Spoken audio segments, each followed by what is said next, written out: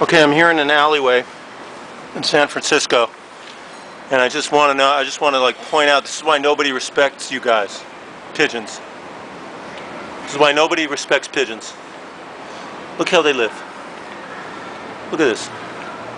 I mean, okay, they're they're a little wary of me, but this is like this is like some kind of insane asylum for pigeons. What the fuck is going on here? Why are they all here? What's going on with these pigeons? There's blood here in the corner. Someone's been stabbed. And these pigeons are just living here. This is horrifying. It's like some kind of pigeon limbo. What's going on? What's up with you guys? Do you have any self-respect? Come on, respect yourselves. Jesus, get a job. It's terrible.